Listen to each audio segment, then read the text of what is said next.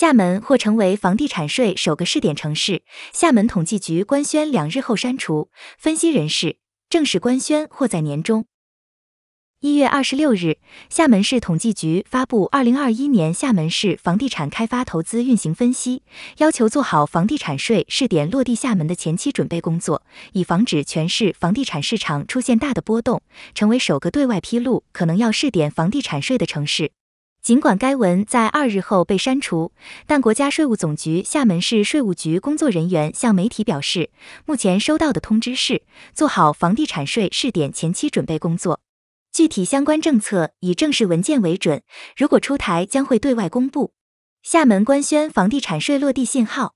一月二十六日，厦门市统计局发布《二零二一年厦门市房地产开发投资运行分析》（以下简称文件）。针对过去一年厦门市房地产市场的情况所存在的主要问题及困难，文中提出三点对策建议，包括深化房地产领域供给侧改革，供需两端共同发力，持续改善群众居住质量，坚持分城施策、分类指导，全面保证市场平稳健康发展，以及多措并举稳定房地产销售市场。值得注意的是，在第三条多措并举稳定房地产销售市场的对策建议中，除了明确要求加大加快全市保障房建设力度，稳定市场的同时抑制房价上涨过快之外，还要求做好房地产税试点落地厦门的前期准备工作，以防止全市房地产市场出现大的波动。该表述具有较强的信号。易居研究院智库中心研究总监严跃进向华夏时报记者解释说，此次做好房地产税试点落地厦门的前期准备工作，由统计局这样的官方口径发出，势必会比较慎重，具有官方的属性和定调。同时，虽然是建议的内容，但是目前全国各类城市看，还没有在政府相关报告和官网中建议做好房地产税试点的相关准备工作，厦门是第一个。中指研究院指数事业部研究副总监陈文静也告诉华夏时报记者，本次厦门明确提出要做好房地产税试点落地的前期准备工作，可以看出厦门可能是前期中央选定进行房地产税试点的城市之一。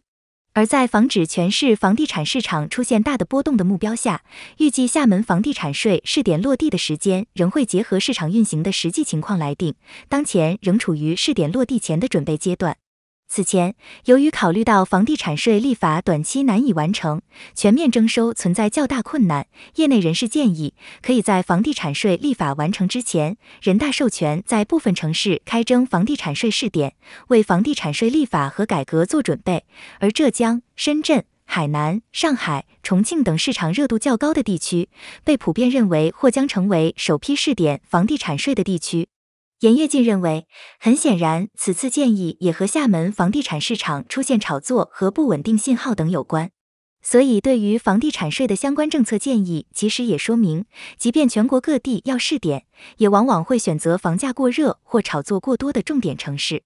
作为首个明确做好房地产税试点落地前期准备工作的城市，上述二零二一年厦门市房地产开发投资运行分析显示，一到十二月，厦门全市房地产开发投资一千零六十九点六六亿元，比上年增长百分之一点三，增幅位居全省六位，两年平均增长百分之九点零。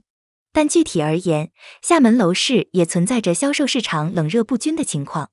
比如分区看，商品房销售面积差异较大，出现两极分化趋势。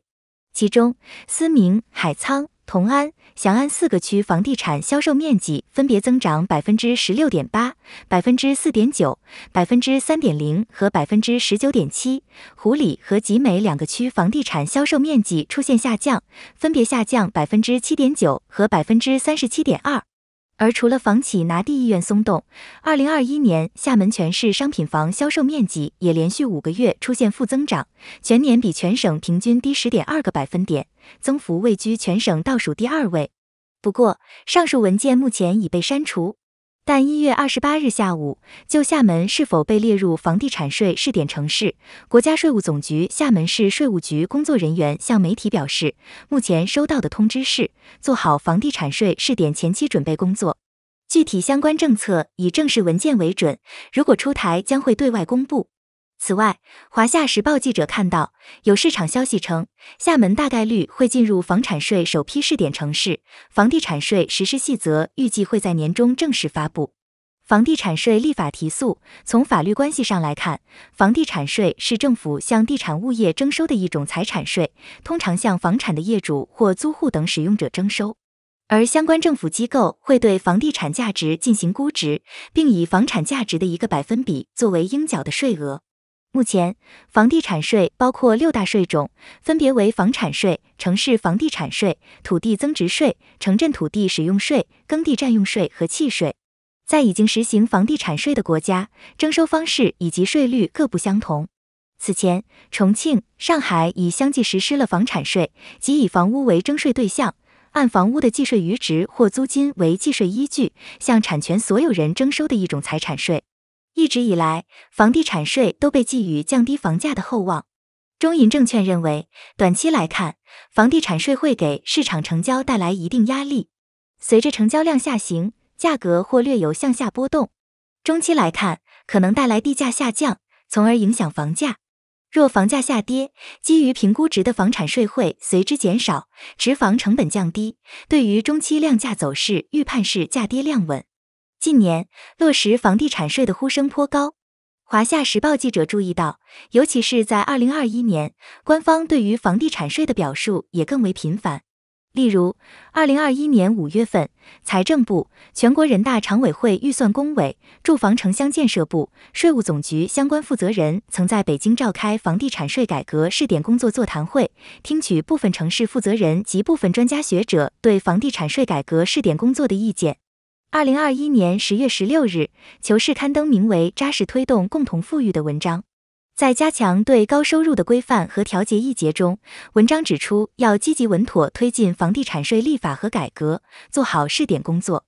二零二一年十月二十三日，全国人民代表大会常务委员会授权国务院在部分地区开展房地产税改革试点工作，征税对象为居住用和非居住用等各类房地产，土地使用权人、房屋所有权人为房地产税的纳税人。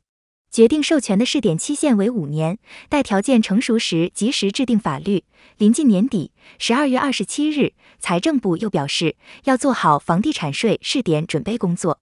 尽管如此，房地产税立法目前依然并没有明确的时间表。华夏时报记者看到，房地产税立法已经列入十三届全国人大常委会立法规划的第一类项目，即条件比较成熟、任期内拟提请审议的法律草案。但二零二一年全国人大常委会立法工作计划中并未提及房地产税立法，“十四五”规划也维持此前推进房地产税立法表述。值得注意的是，二零二二年一月七日，国家税务总局、自然资源部联合印发关于进一步深化信息共享、便利不动产登记和办税的通知，明确要求深化部门信息共享，大力推进一窗办事。要求二零二二年底前，全国所有市县税务部门和自然资源主管部门应实现不动产登记涉税业务的全流程信息实时共享。而该文件也被认为为房产税推出做好了准备。在业内人士看来，在房地产长效机制的建设中，房地产税这一政策工具的落地仍需谨慎推进。严跃进指出，房地产税的改革应该是审慎和稳步推进的。